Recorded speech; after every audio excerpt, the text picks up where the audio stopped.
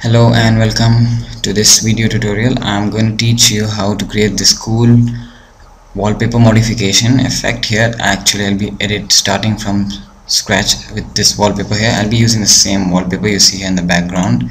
So this is our before and after what we'll be doing. Okay so I'm going to just duplicate this wallpaper here and teach you how to add some colors in the background and this kind of bubble effect with some text modification here. Okay so I'm going to duplicate this background layer to a new document. So right click duplicate layer and I'm going to select new. And click on OK. So here's what we had as a before. And the first thing what I'm going to start is by adding a few colors here in the clouds there. We can see that this is just a plain orangish color here. So let's create a new layer. And the best way to do that is switch to your brush tool.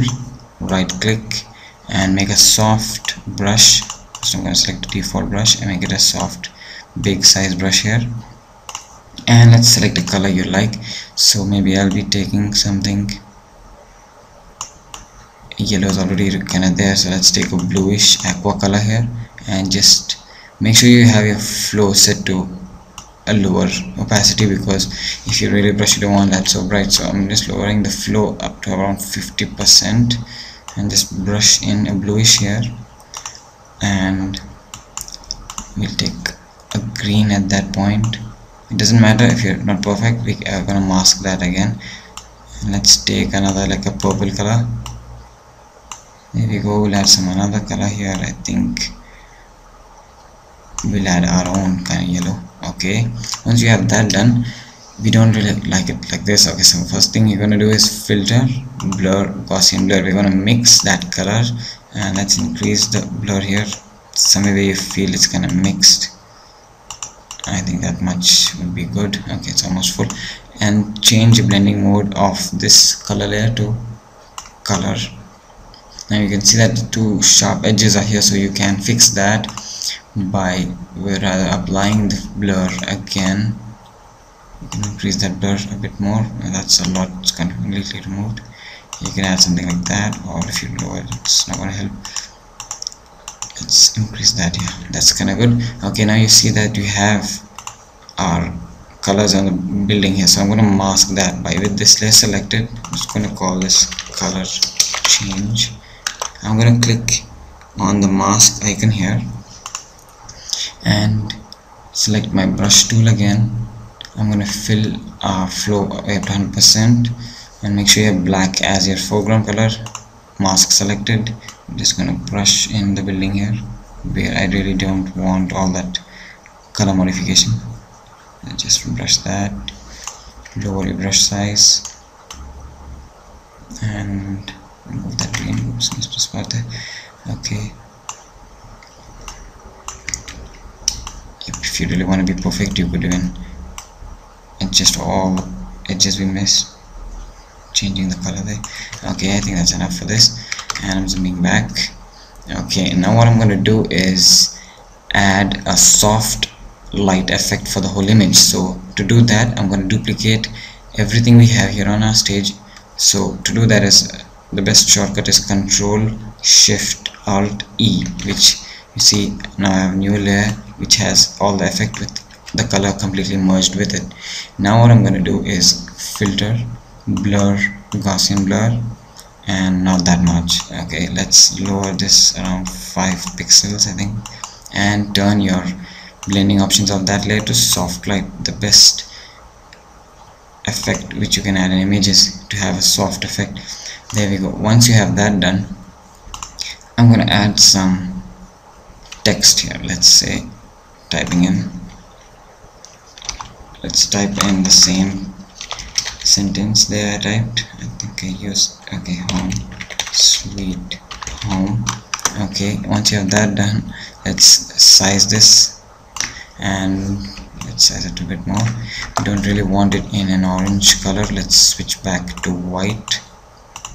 Okay I'm gonna make these two a bit more bold you can just any font that you like okay? I'll be using I'm using Gotham as a font okay and I'm going to set this text somewhere here in the sky. Let's lower this a bit more okay? That's the original size so you can see here clearly. Once you have it set on your wallpaper I'm going to add a text effect for that. So double click on my blending options of my text tool. I'm adding a bit of a shadow not very strong just a slight shadow can leave your blending mode to multiply doesn't make any difference. And I'm going to add a bevel and emboss real soft bevel and emboss you can see that. You can leave all the depth everything as default you just see me editing the softness. Okay and now what I'm going to do is add a gradient to this text maybe a slight silverish color. Okay. And anything else that would look nice? Maybe an inner glow inner shadow sorry. I don't think that's fine. I think that's enough. That's enough for this type of modification. Okay and you could even place that on the grass here.